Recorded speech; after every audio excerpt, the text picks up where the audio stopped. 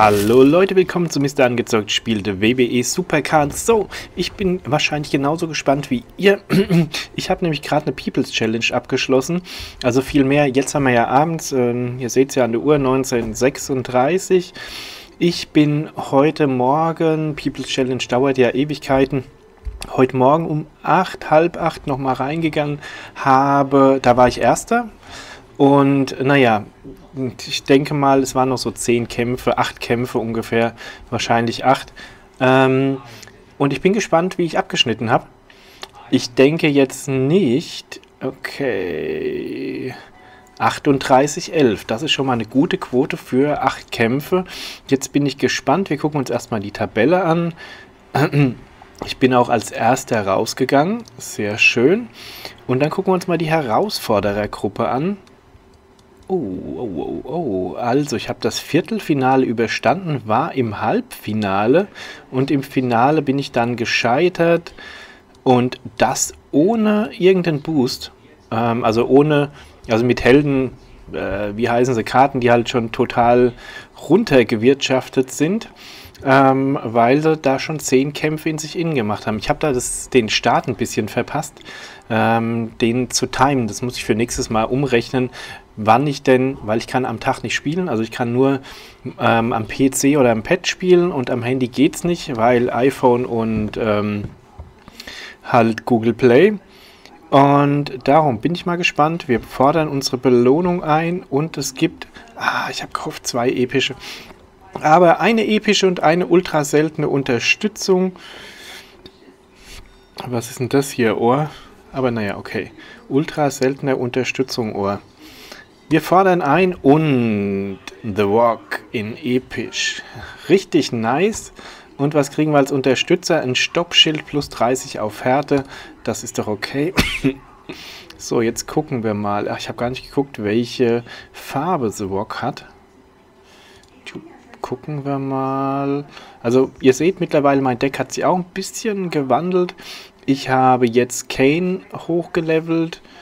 Ähm, wisst ihr was? Wir gucken es einfach mal über das King of the Ring Bildschirm an. Das finde ich eigentlich am besten da? Nee, stimmt eigentlich gar nicht. Ich rede wieder und rede, genau. So, ich gehe mal hier auf, also meine stärkste Karte Ultimate Warrior, ganz klar. Der ist jetzt voll aufgelevelt, 485, 471, 450 und 556. Ich gehe mal auf Tauschen. Ich werde ihn natürlich nicht aus meinem Deck nehmen. So, und will aber hier auf... Oh, äh, Rob van Dam habe ich das zweite Mal gezogen. Ähm, müsste ich halt aufleveln, um dann Profi-Rob van Dam ultra selten zu kriegen. Aber da fehlen mir einfach gerade die Karten zum Aufleveln. So, ich gehe jetzt nochmal hier und nach Wertung. Nicht neueste Wertung. Also, Ultimate Warrior, ultra selten Pro, voll aufgelevelt. Meine stärkste Karte, dicht gefolgt von Hulk Hogan. Chris Jericho habe ich auch auf vollem Level. Ähm, haut mich eigentlich jetzt nicht so vom Hocker, muss ich ehrlich sagen, weil 392, 396, 402, 458. Oh. Okay, ich habe ihn voll aufgelevelt. Er ist äh, blau, das ist ganz wichtig für mein Deck. Das heißt, Oh, jetzt habe ich den Platz getauscht, aber ist egal. Ähm, die Arcane ist auch blau, da bin ich gerade bei Level 24. Äh, ich bin gespannt, wenn Kane voll ausgelevelt ist, wie ähm, stark und wie hart er wird. Das könnte eine Karte für mein Deck sein, dass er dann ähm, fest drinne bleibt, vorerst. Und hier, die sind alle schon raus. Ultimate Warrior, also die besonders seltenen und so, die hebe ich noch für King of the Ring auf. Jetzt gucken wir uns hier mal The Rock an. The Rock hat ja seine Stärken bei Kraft und Charisma. Hm. Tja. Den werden wir als nächstes hochmachen. Ich die Frage, ob ich halt wirklich jetzt auf The Rock gehe. Ähm, wenn ich jetzt Kane fertig habe oder ob wir auf die beiden Wopfern Dams gehen. Weil ich kriege dann halt ultra seltene Pro-Karte, wenn ich die beide auflevel. Dauert aber länger. Mein größtes Problem ist halt die Diva. Ähm, Und was ihr seht, ich habe hier drei linke Ecken und eine rechte Ecke, aber das ist alles noch im Rahmen. Wir, würde ich sagen, kämpfen jetzt mal ein paar Ründchen. Ich habe jetzt schon wieder fünf Minuten geblabbert, ohne was dazu. Ich bin mittlerweile im oberen Drittel von Episch Plus. Das heißt, ich kriege fast nur noch ähm, auch Gegner aus Episch Plus. Darum müssen wir da immer ein bisschen aufpassen. Ich würde jetzt hier einfach mal, ne, der DJ hat zu viel Kämpfe. Dann Owen Hulka oder Pegasus. Nehmen wir Owen Hulka. Ähm, also es wird immer härter. Ihr kennt's. Äh, oder die, die spielen, kennen's. So, Krafthärte ist natürlich was für unseren Ultimate Warrior. Und gegen Triple H Level 27 schaffen wir das gemütlich. Da hätte ich es fast da hätte ich es mit jeder Karte von mir geschafft, außer mit Kane. Ähm, ja, ein bisschen verschwendet, aber okay. Punkt 1, Härte, Tempo. Tempo immer noch mein schlechtester Wert. Wobei jetzt hier durch ähm, den Chris sind wir da ein bisschen besser, aber ich habe meinen Tempo-Boost dabei und wir gehen auf Härte, Tempo. Oh, da haben wir einen ultra seltenen Rock. Aber der ist, glaube ich, schlecht aufgelevelt. Und Edge auch schon voll, aber gucken wir mal. Ich denke, das sollten wir doch gewinnen. Ja, super, zwei Punkte geholt. Erster Sieg für uns. Und ein Kane gegen Eric Rowan. Ähm, auch den Kampf haben wir gewonnen. Ich bin momentan echt froh, wenn kein Diva-Kampf kommt, weil viele haben halt jetzt auch schon epische Diven und ich nicht. Und ja. Da wäre eigentlich mal Zeit, dass ich eine ziehe. Ah, es wäre so cool gewesen, wenn ich äh, im King of the Ring... Ich bin mir sogar relativ sicher, dass ich gewonnen hätte, wenn ich einfach nur da gewesen wäre. Jetzt so, ich hab, weiß noch nicht mal, wann es geendet ist, denke ich so um fünf vielleicht. Wenn ich da gewesen wäre und einfach nochmal boosten hätte können, äh, die waren halt durch, meine Leute, gell? Also darum, ähm, eventuell wäre da was drin gewesen, weil ich bin ja auch als Erster ähm, in der Rangliste gewesen. So. Gucken wir mal beim Lee. Ähm, wie auch immer er heißt rein. Lee Chase. Diva Tempo. Ja, Diva Tempo ist natürlich beschissen. Da verliere ich selbst, wenn da eine normale Page kommt. Aber er hat eine epische AJ mit Boost, also den hat er schon mal gezogen. Dann ist okay, dass wir verloren haben. Einzelmatch Tempo. Tja, da bleibt uns nur unser Ultimate Warrior, wobei ich auch mit Chris Jericho gewonnen hätte. Kraft. Hauen wir Boost drauf und Hulk Hogan, wobei Hulk Hogan nicht der stärkste ist. Okay, ich habe schon befürchtet, dass er seinen ähm, Big Boot, äh, nee, seinen Boost da zieht, der Gegner. Äh, aber haben wir Glück gehabt. So. Wir decken mal weiter Kärtchen auf, kriegen nur Schrott. Was ich aber schon festgestellt habe, auch wenn es jetzt sich gerade nicht bewahrheitet, ich ziehe viel mehr grüne wie graue Karten, was natürlich zum Hochleveln ist. Indie, auch wenn sie Goldliga ist, ähm, möchte ich nicht gegen spielen. Gegen Jaden mit dem legendären äh, Rey Mysterio will ich auch nicht spielen. Und jetzt die Frage, naja, er hat 1300 mal verloren. Ich weiß es nicht, gucken wir mal.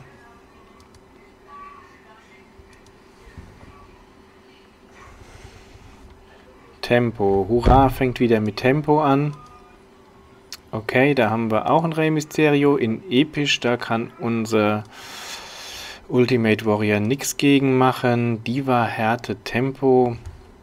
Tja. Selbst wieder gegen eine normale Page verliere ich. Das heißt, die Runde werden wir verlieren, weil Boosten bringt da... Oh. Hätte ich nur... Nee, wir gewinnen auch ohne Boost. Super. Er hat eine schlechtere Diva wie ich. Das ist selten. Tag Team, Kraft, Charisma. Da spielen wir Hulk ist immer im Tag-Team dabei und Kraft Charisma. Puh, Ultimate Warrior. Oh, der ist aber schlecht aufgelevelt, weil wenn der voll aufgelevelt ist, ist der stärker wie mein... Ach, Macho Man, was erzähle ich denn? Dann ist er stärker wie mein Ultimate Warrior. Ähm, Aber das ist er hier in dem Fall nicht. Der hat auch 556 Charisma, aber mehr äh, Härte und mehr Stärke. Nur bei Tempo ist Ultimate. Nee, mehr Tempo. Ah, ist egal. Rob van Dam, da haben wir ihn wieder in grün. so, eigentlich könnten wir jetzt hier gegen den Yuri spielen, auch wenn er einen ultra seltenen Profi-Hulk hat, aber damit kann ich leben. Und Charisma. Da lassen wir auch unseren Ultimate Warrior ran. Da können ihn nicht viele schlagen. Es gibt zwar also ein paar, die ihn schlagen können. Wie gesagt, Macho Man ist gleich. Tag Team Härte. Legen wir Boost, Hulk Hogan und Chris Jericho gegen Ric Flair und Hulk, die nicht connecten, also was uns ja nochmal 10% Vorteil gibt. Und dann muss man sich da auch nie Gedanken machen. Sobald die, der Gegner auch connectet, dann habe ich immer meine Bedenken. Aber wenn die Karten gleichwertig sind, dann äh, und sie halt unterschiedlich sind von den Farben, dann kriegen wir halt den 10% Bonus, wenn wir gleich sind. Und das, das macht meist schon viel aus, weil man muss überlegen, die Karten haben mittlerweile 450 Punkte, 10%, also bei mir plus 5, bei denen minus 5 sind ja 10%, sind dann 45 Unterschied, das bei zwei Karten im Tag-Team. Da reden wir dann schon wirklich von ähm, 90 Punkten im Team Unterschied. Und das ist halt schon eine Menge. Na. Und wir warten aufs Netzwerk. Och, das muss doch nicht sein. Oh, ich könnte wieder... Ich habe das letztes Mal...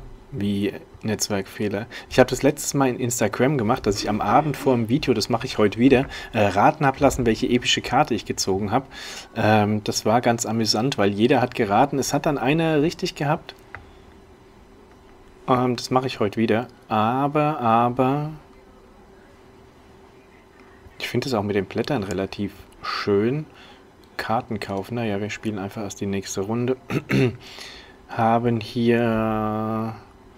Ich würde fast sagen... Tja... Wir spielen gegen The Rock. Das andere, das war mir ein bisschen suspekt, warum der mit einem normalen, ultra seltenen Hulk im Team falls er den überhaupt im Team hat. Charisma, wenn eine Page kommt, gewinnen wir. Wenn die Pribella in Profi kommt, dann gewinnen wir natürlich nicht. Aber er hat schon mal seine Boostkarte gezogen. Das ist immer ein Vorteil. Einzeltempo. Warum immer Tempo? Aber das gewinnen wir. Jetzt haben wir auch noch unseren Boost Einzelcharisma. Da brauche ich keinen Boost. Das macht Hulk Hogan. Und wir verlieren. Gegen The Rock, schön aufgelevelt.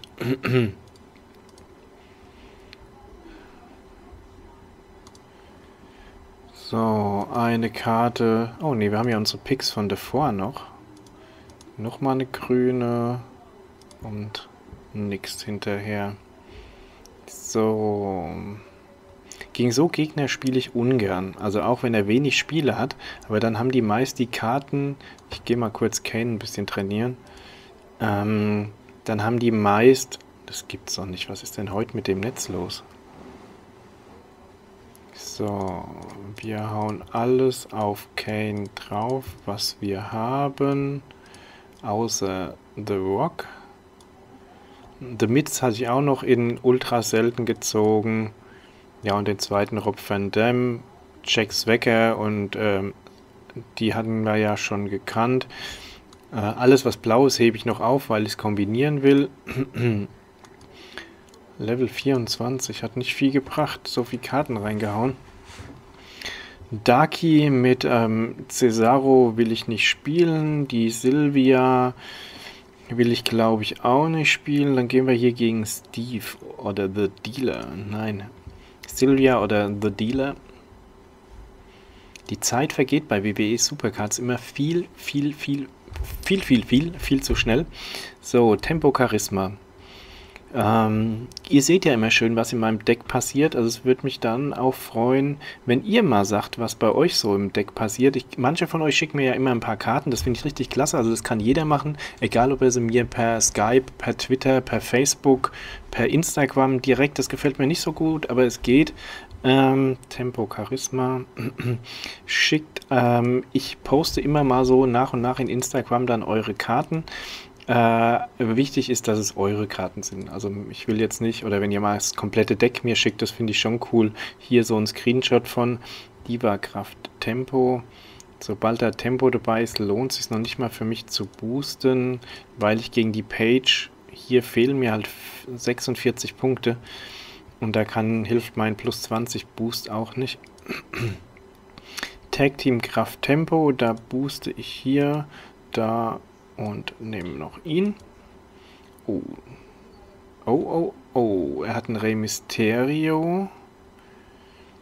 Sie connecten. Da bin ich mal gespannt, weil meine halt so lahmarschig sind. Was war's? Tempo und was war's noch? Das wird eine knappe Nummer und ich gewinne. Ja. So, dann gucken wir einfach mal weiter. Gewinner und wir ziehen jetzt mal was richtig, richtig Gutes. Ja, oh, ho, ho. nein. So, dann ziehen wir hier auch mal was richtig Gutes. Auch nicht. Die Grü... Ja, okay. So, das ist jetzt die Frage. Das hier ist sogar jemand, wo ich immer überlege zu spielen. Also, er ist in Gold, das heißt, wenn er hier einen The Rock auf Legend, äh, auf Episch hat, er wird noch eine weitere epische Karte haben. Äh, er kann aber die Karten noch gar nicht so viel aufgelevelt haben, weil er erst 500 Spiele hat. Und darum, äh, vielleicht kommt jetzt noch eine Legendary um die Ecke, Einzelmatch Härte Charisma. Ich gehe da immer die beste Karte. Hier ist seine zweite epische und das ist auch was, was wir gewinnen. So, dann Einzelhärte. Jetzt die Frage, ich haue Boost drauf und spiele und, ui, er hat noch einen Shawn Michaels. Warum hat jeder einen Shawn Michaels? Aber Gott sei Dank nicht voll aufgelevelt, also heißt es, wir haben unseren zweiten Sieg und es ist mir eigentlich relativ egal, was er jetzt noch bringt. Die beiden connecten auch. Hey, vier epische Karten hat er im Deck und ist dabei noch Gold. Also nochmal, die connecten sogar auch noch. The Rock und Macho Man.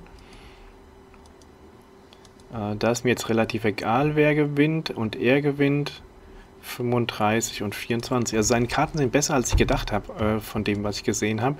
Aber kann er mir nicht erzählen, dass er die gewonnen hat.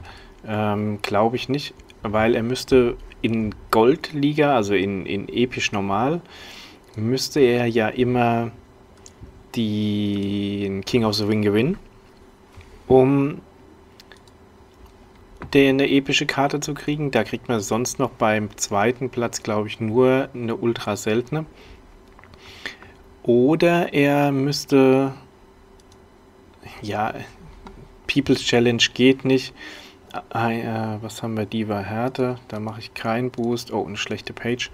Darum denke ich, hat er Karten gekauft, aber dafür gut aufgelevelt. Aber da ist seine Gewinnquote auch echt schlecht. Äh, habt ihr schon mal Karten gekauft? ich bin da echt zu geizig für. Ich finde die extrem teuer. Äh, so Härte Charisma.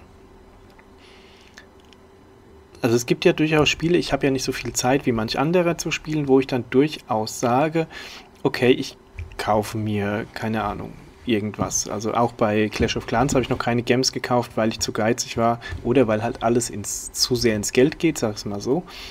Äh, Kraft, Charisma, Kraft, Charisma, Kraft, Charisma. Ähm, tja, Big Show äh, macht uns dann nass, aber das macht jetzt nichts. Darum würde es mich mal interessieren. Also, würdet ihr Geld für ausgeben? Ich finde das Spiel klasse. Also, so ist es nicht. Wenn das jetzt, keine Ahnung, wenn ich es jetzt kenne und es 5 Euro kosten würde, würde ich das durchaus sogar mir überlegen. Aber wenn wir mal gucken, Karten kaufen, was kommt in Frage? Im Endeffekt nur das epische Pack, also wenn man anfängt vielleicht ein ultra seltenes Pack, aber kostet 2500 und kriege ich eine epische bis legendäre. Zufällig. Also, man muss immer vom Schlechten ausgehen. Das heißt, ich würde eine epische kriegen. Äh, wir können ja mal draufklicken. Äh, möchten Sie zum Coinshop. Um 2500 Credits zu haben, müsste ich 21,86 Euro und dann könnte ich mir ja, das und das leisten.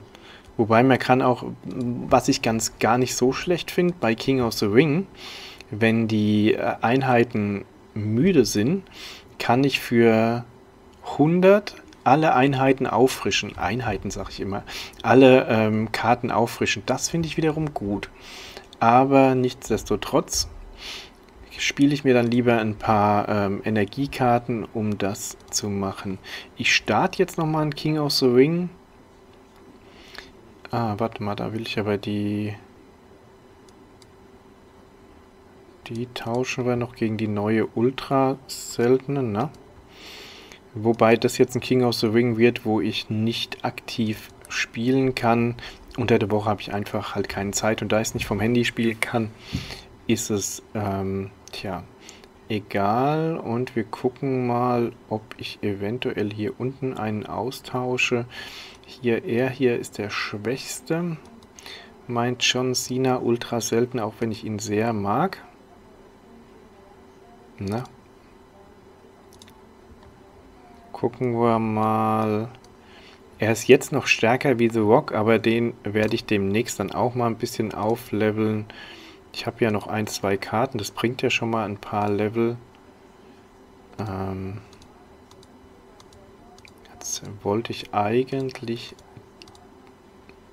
dahin und auf Neueste mich stellen. So. Okay, ich habe auf Tauschen geklickt. Wie doof ist das denn?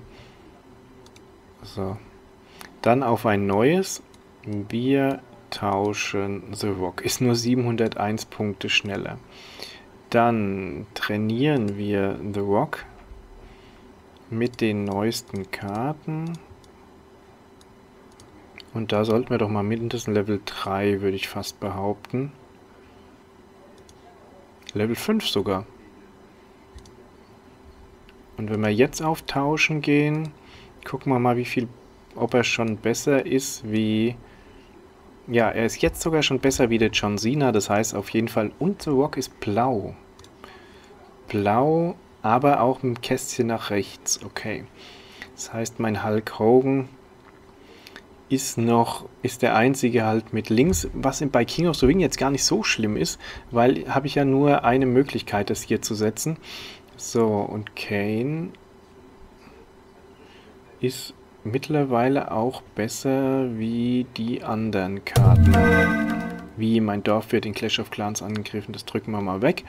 King of the Ring beginnen. Und ja, die Zeit habe ich schon wieder gnadenlos überzogen. Das war's schon wieder für ähm, WWE Supercards für heute.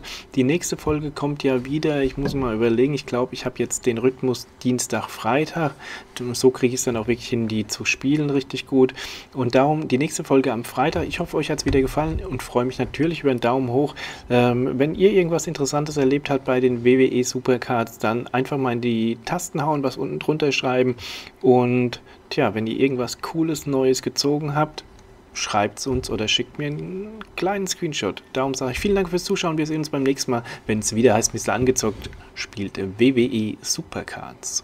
Moment, ich nochmal. Und hat's dir gefallen? Ja, dann freue ich mich über einen Daumen hoch. Wenn du mehr Action-RPGs haben willst, dann schau vielleicht mal da rein. Für Strategiespiele packe ich dir da was hin. Und wenn dir es gefällt, bleib doch einfach hier im Kanal und ich freue mich über dein Abo.